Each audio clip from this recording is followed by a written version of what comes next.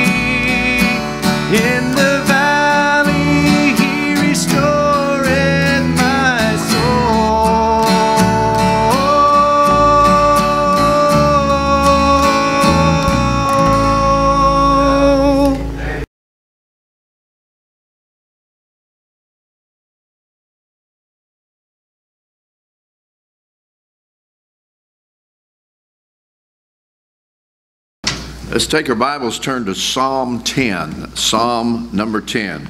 I'm going to give you a long introduction, a short message, and a long closing. How about that? Psalm 10. And uh, in just a minute, we'll get, get back there. But I want to uh, remind you that, uh, that God is going to judge this world one of these days. The Bible says, and as it is appointed unto men once to die, but after that, the judgment. After this, the judgment. First time you have that word judge is found in uh, Genesis chapter 15 and verse number 1 and verse number 14. The Bible told uh, Moses that God, or the Bible told Moses, God told Moses that he was going to judge Egypt. He was going to judge Egypt, and he, and he did. In fact, he sent plagues into Egypt and so forth. And then uh, later on in Genesis chapter 18, uh, God said that he was going to destroy Sodom and Gomorrah. And Abraham said, Lord, you mean to tell me you would destroy the righteous with the wicked?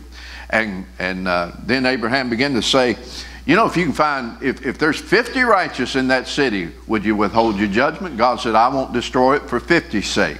And then it came on down and he kept whittling the numbers down 40 and 30 and so forth and uh, couldn't even find 10 righteous people in sodom and gomorrah you know what uh, but abraham said shall not the god of all the earth do right. He's going to he judged. The bible says god is the judge of all the earth and shall he not do right? Now whatever god does with what judgment god meets out i'm telling you he's going to be fair. He's going to be right. Then in Judges chapter number 11, verse 21, the Bible says, The Lord is the judge.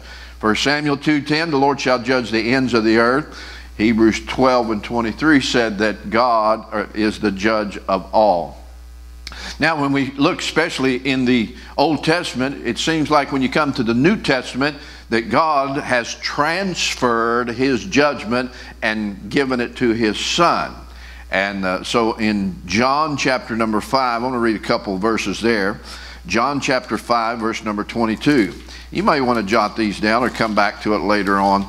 John chapter number 5 and verse number 22, the Bible says, For the Father judgeth no man, but hath committed all judgment unto the Son. And then in verse number 30, I can, Jesus speaking, I can of my own self do nothing. As I hear, I judge my judgment is just because I seek not my own will, but the will of the Father which has sent me. So, John chapter 5, Jesus is judge. God has committed, God the Father committed all judgment to his Son. And may I remind you that Paul talks about the judgment seat of who? Christ. Not the judgment seat of the Lord, not the judgment seat of God, but the judgment seat of Christ. And we'll look at that in just a little bit. And then think about these verses. In Acts chapter 10, verse number 42, the Bible says, And he commanded us to preach unto the people and to testify that it is he, that's Jesus, which was ordained of God to be the judge of quick and dead. Then in Acts 17:31, because he, that's God, hath appointed a day in which he, God, will judge the world in righteousness by that man, and that man is Jesus, whom he hath ordained. Romans 2 16, in the day when God shall judge the secrets of men by Jesus Christ according to my gospel. Timothy tells us the same thing. So it seems that God has transferred the, the uh, right, if I could use that word, of judgment and has given it to his son. Revelation chapter 6 and verse number 10 says, And they cried with a loud voice, saying, O Lord. Now, when you find the word Lord in the Bible with a capital L and the lowercase letters O R D, that speaks of Jesus. When you find it all capitals, that really speaks of God the Father in most cases. So they cried with a loud voice, saying, O Lord, capital L, small case letters O R D, holy and true, dost thou not judge? And avenge our blood on them that dwell on the earth. And uh, I saw heaven open, night, chapter 19, verse 11. Behold, a white horse, he that sat on him was called faithful and true, and in righteousness he doth judge and make war. Now, I want to give you two scriptures here to look at, and then we'll go to Psalm 10, okay? And then I'll give you the title, all right, what we're going to talk about. You said we're going to talk about judgment. Well, how did you guess? Romans 2. Let's go to Romans 2, if you would. Romans chapter number 2. Romans chapter number 2, look at verse number 1. Romans 2, verse 1. Therefore, thou art inexcusable, O man, whosoever thou art that judgest. For wherein thou judgest another, thou shalt, or thou condemnest thyself, for thou that judgest doest the same things.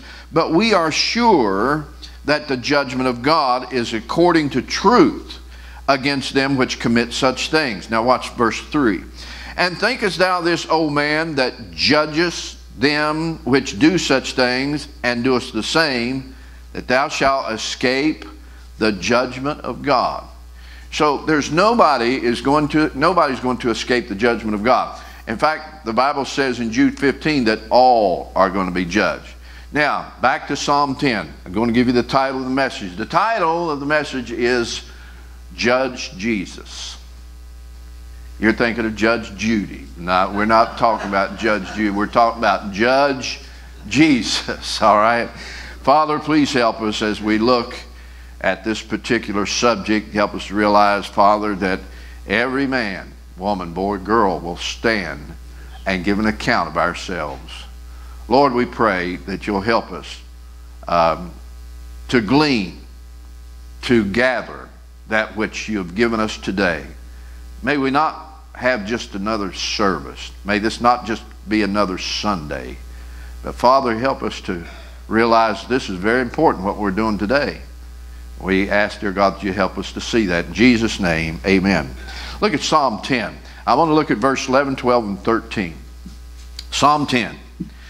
He hath said in his heart, God hath forgotten. He hideth his face. He will never see it. Arise, O Lord, O God, lift up thine hand, forget not the humble. Look at verse 13. Wherefore doth the wicked contemn God? Hath he said in his heart, Thou wilt not, or he hath said in his heart, Thou wilt not require it. Now, I'm going to talk about Jesus being the judge. And here, he's going to warn the unbeliever who thinks he'll be excused. Who thinks he'll be excused. You know, a lot of people don't even think about Jesus, first of all, and they certainly don't think about him being a judge, secondly. But his, his, past is not going to be excused. Look what he says in verse number 11. He hath said in his heart, God hath forgotten. Can you imagine somebody making that brazen statement to say that God has forgotten? Now, we have forgotten. We forget a lot of things. I promise you this God has not forgotten anything. He never will, never has. God hath forgotten. Now, I'm glad that, well, I got to say this. I got to say this. I got to back up a little bit. When you get saved, God has forgiven you of your sins. But in some strange way that only God can do it, He has forgotten those sins too. Amen? And uh, so thank God for that. So I had to back up a little bit. Now, so his, his past won't be excused. Look what he says. He says, this sinner says, this unbeliever says that God hath forgotten. Look at the book of Ecclesiastes. Just go a few pages ahead. You'll find Psalms, Proverbs, Ecclesiastes. And look at chapter number three. So, uh, Ecclesiastes is um, Nancy Pelosi's favorite book. Ecclesiastes chapter number three, verse number 15 verse number. I started once to look at some verses in here, and kind of take them out of context and apply them to Nancy, and but I did. I, chapter three. look at chapter three, verse number fifteen. That which hath been is now, and that which is to be hath already been. Now watch this. And God requireth that which is past. You see that? Moreover, he says, I saw under the sun the place of judgment, that wickedness was there, place of righteousness, that iniquity was there.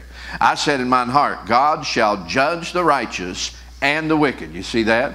Judge the righteous and the wicked, for there's a time there for every purpose, for every work. Now, here's a person in Psalm 10 that says, God has forgotten. God has forgotten my past. I promise you, God has not forgotten the past. The record books is going to be open one of these days, and God's going to go through them, examine them thoroughly. I've heard people say, but I made a resolution. I turned over a new leaf. I've got a little bit morality, got a little bit religion. I've changed my ways. You know, that's, that's all well and good, but what about your past? You may have started today. You may have started a week ago and say, you know what? I'm changed. I've turned over a new leaf. I've done all these things, got a little religion, started going to church and everything. But your past is still has to be accounted for. And the only one that can have their past accounted for and forgiven and wiped away is for, or is for that unbeliever to say, Lord Jesus, forgive me of my sins. I, I trust you. I repent of my sins. Come into my life. I receive you as my Savior. And I'm telling you, at that moment, God wipes away your past. But until that time, your past is still required.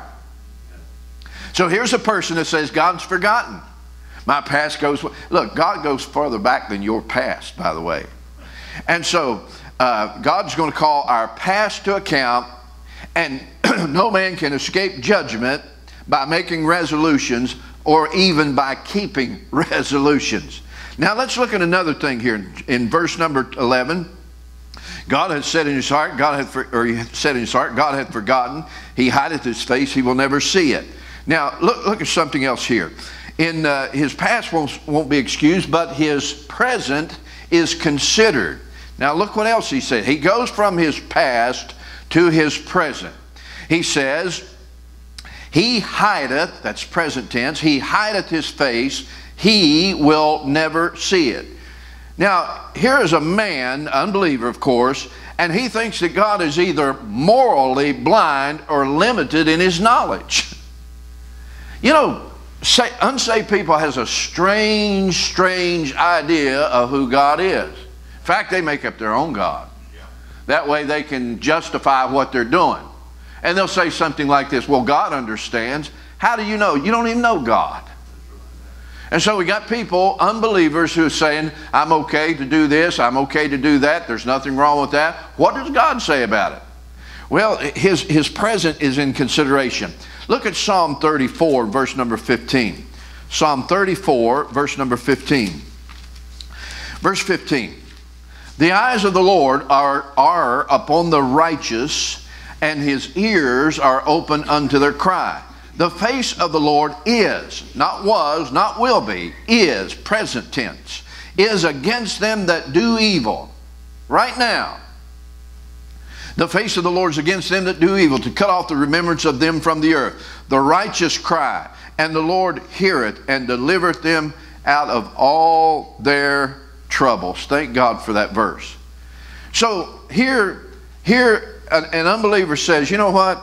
God doesn't know anything about my past. He's forgotten. And God doesn't, you know, he, he's hiding his face. He doesn't, he doesn't see what I'm doing right now. Well, the Bible says over in Hebrews 4 and 13, I like this verse. Let me read it for you. Hebrews 4 13. The Bible says, verse 12, the word of God is quick and powerful, sharper than any two edged sword, piercing even to the designing, uh, dividing asunder of soul and spirit and of the joints and marrow, is a discerner of thoughts and intents of the heart. You know what this Bible does? It gets to your insides. Amen. It gets to your mind. It gets to your heart. You know, people want to conform on the outside morally. You know, I've done this, I quit smoking, I quit drinking, I've started doing this and that. But that Bible goes right inside of your heart and right inside of your mind. And so the Bible says, the Word of God says, that God's Word is quick and powerful and sharper than any two edged sword.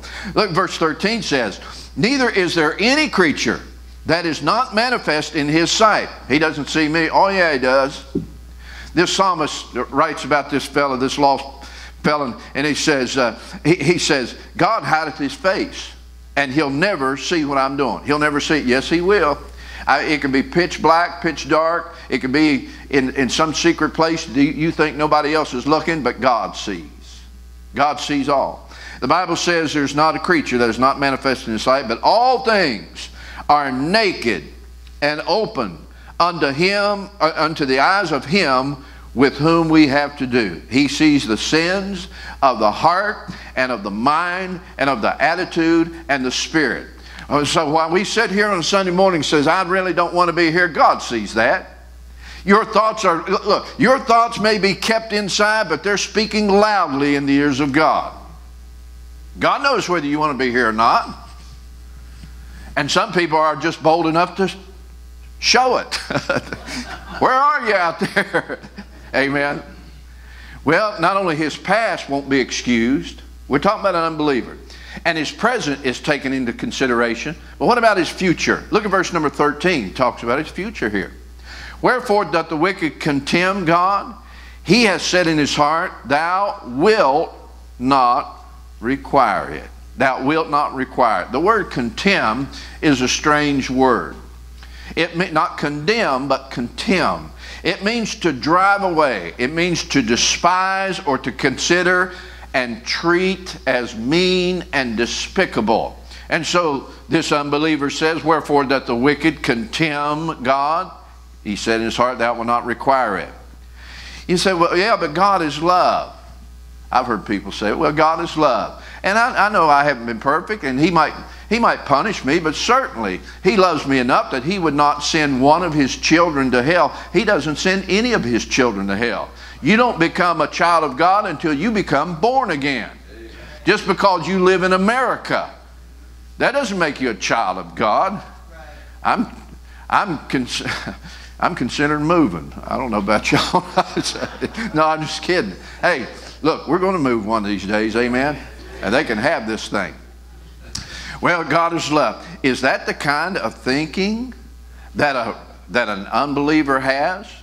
He thinks that way. Look, he thinks that God's not watching. God doesn't have anything to do with my past. He, he's hiding his face from my present, and he's not going to require me to answer for all of my sins. Look, what book have you been reading? God will require it.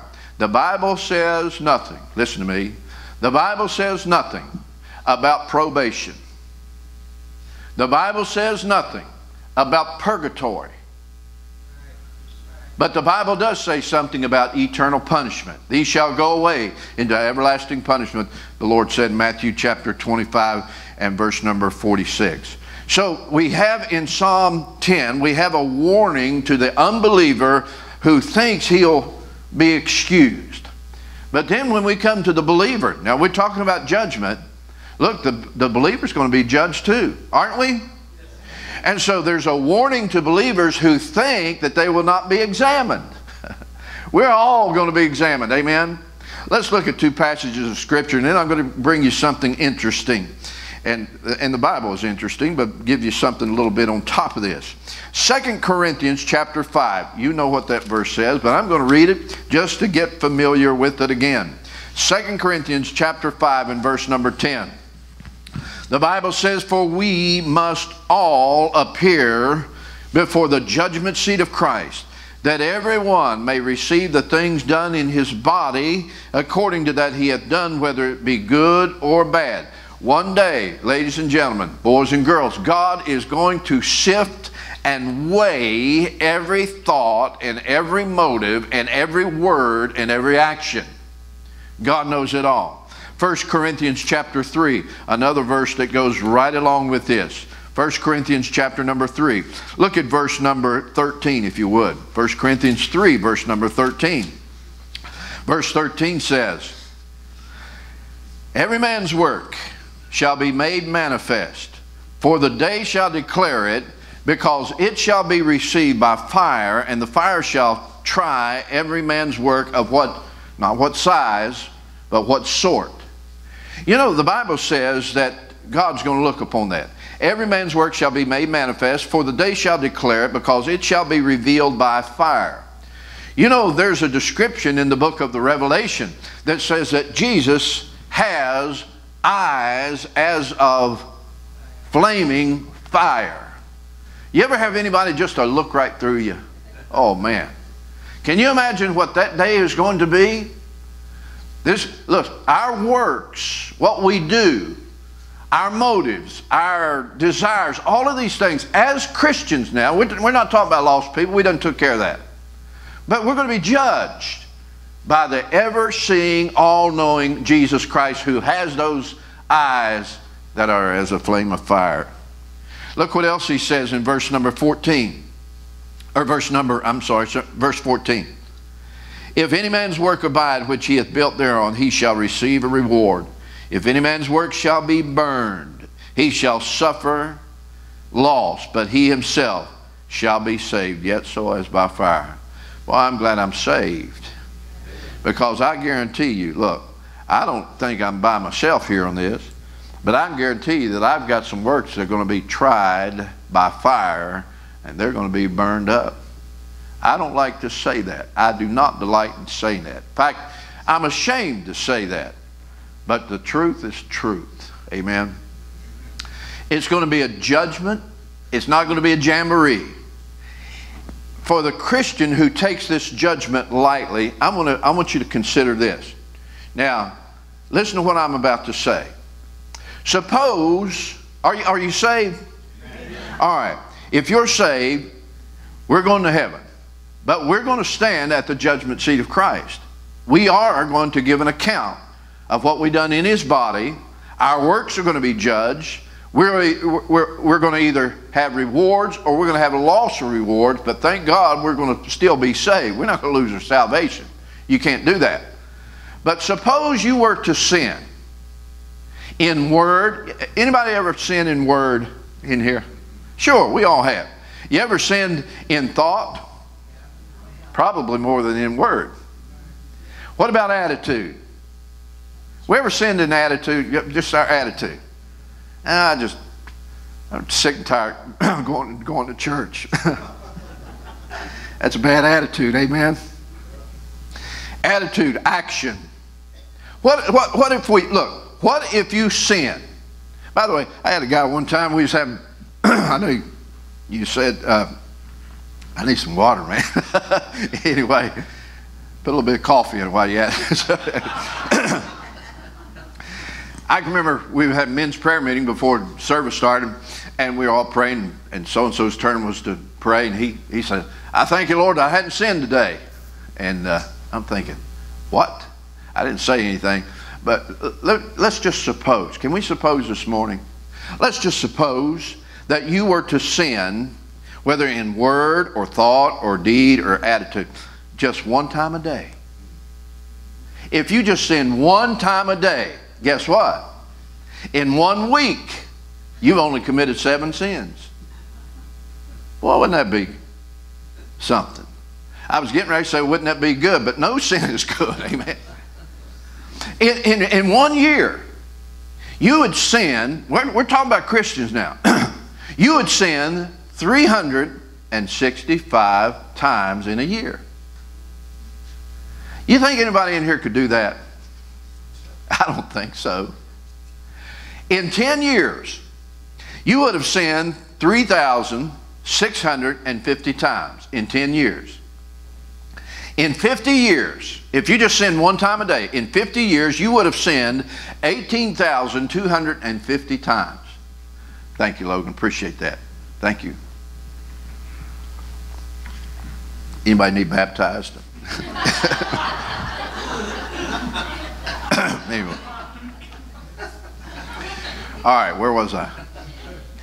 I probably just sinned. Just All right. All right, so you say, that's a lot of sin. It is in 50 years. But one sin's a lot of sin. One sin is. But suppose you would sin just once an hour. Let's just move it up a little bit. Once an hour. Once a day is too many times. You know, uh, the epistle of John, John writes, These things write I unto you that ye sin not. And he says, and if any man sin, he has an advocate with the Father, Jesus Christ the righteous. So thank God we have, I'm telling you what, Christians are keeping Jesus busy. Think about that. All right, you sin once an hour. in one day, how many? 24. 24 sins in one day. One week, 168. One year, 8,736 year's time. Now look, if you just sin one time an hour, in a year's time, you have sinned 8,736. In 10 years, 87,360. In 50 years, you would have sinned 436,800 times. Now, wait a minute. The Bible says For all have sinned. But here's the next part of it. And come short of the glory of God. Now, we hadn't taken that coming short part in here. But let's just say, not only do all sin, we've all, the Bible says, we've all come short of the glory of God. Is it fair to say that we all come short of the glory of God at least once a minute. I thought about this. You know what that, that word, that phrase means? You come short of the glory of God. You know who the glory of God is? It's Jesus. Do you think that in a minute's time that we come short of being like Jesus in a minute? I think so. I think it's fair to say that we have. So not only have we sinned, but we've come short of the glory of God. So we move it up again. Once a minute. Once a minute. In a day's time, that's 1,440 sins. Wow. And these people have the nerve to say, Well, I haven't sinned today. You've sinned every minute. and in a day's time. Well, I'd like to have these figures before me when talking to somebody like that. So, no, no, wait a minute. Here's what. In a week's time, 10,080 sins in a week's time. In a year's time, 524,160. In 10 years' time,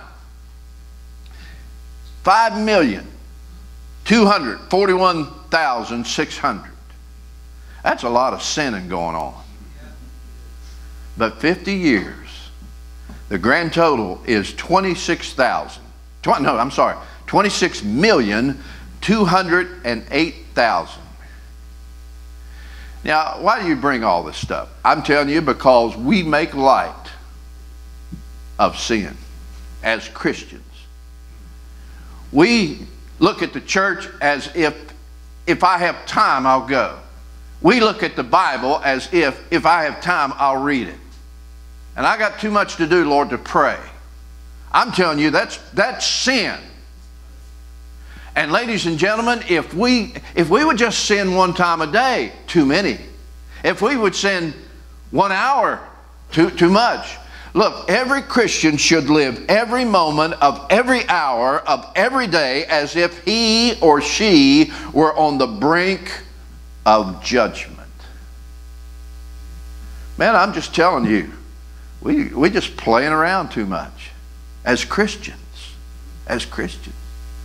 No wonder the lost world looks at churches, makes fun of them. No wonder the lost world looks at Christians and just has a good, good old time with making light of God. I, it, it, it is not going to be a, it's not going to be a joyous time when we stand at the judgment seat of Christ. It's not until we come to the book of Revelation, God makes us a new people, that He's going to wipe away all tears. I think there's going to be a lot of tears shed at the judgment seat of Christ. I think there's going to be quite a lot of tears from yours truly at the judgment seat of Christ. I read this just the other day that one man said, the closer that you get to God, the more aware of sin in your life. We used to have a old fella at Red Star Missionary Baptist Church by the name of Johnny Hickenbottom. Johnny couldn't read, but he carried a Bible with him. He wanted to let everybody know that whose side he was on. White hair old man. He, he could not pronounce his words too good. But I'm telling you, that man loved God. And every time a preacher would get up and the invitation was given, he would walk down that aisle and hit that altar and pray, cry out to God. And as a kid, I didn't understand that. As a kid, I thought, man, he must be a big old sinner going to the altar all the time. But I never understood what I understand now is that the closer that you get to God, the more aware of sin that you are in your life. Amen? Let's do it like one old preacher said let's keep short accounts with God. Don't let them pile up. When the Holy Ghost of God lets you know, I'm not pleased with that, hit your knees if you can. Confess it. Forsake it. Get right with God. Amen. Our churches have lost its power because we're making light of the judgment seat of Christ. I really believe that. Let's get back to where we need to be. Amen. Father, please help us.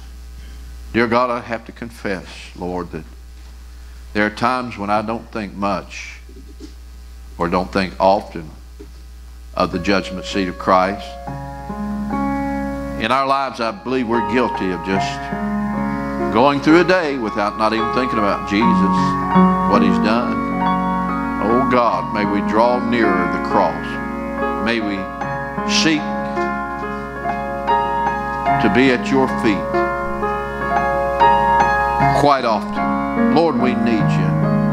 We ask, dear God, that you'll help us as we realize that just any day you could come. We believe we're seeing things happen that on this earth that we've never happened, that's never happened before, that we've never seen before. And we believe that the coming of your Son is very, very close.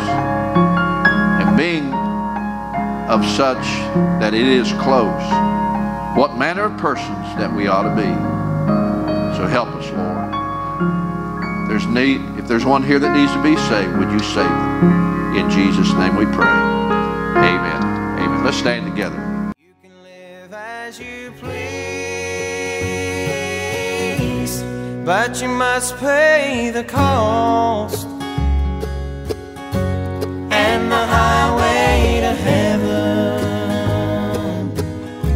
still goes by the cross.